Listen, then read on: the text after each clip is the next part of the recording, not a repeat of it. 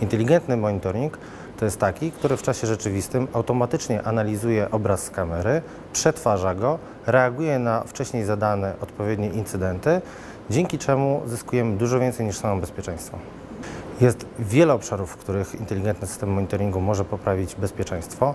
Między innymi może to być wczesne wykrywanie i zapobieganie pożarom. Kamery termograficzne, jeszcze zanim ogień zostanie zapruszony, mogą alarmować o wcześniejszym podwyższeniu się nietypowym temperatury, zbyt szybkim nabieraniu temperatury, przez co jeszcze zanim dojdzie do zapłonu, jesteśmy w stanie zareagować.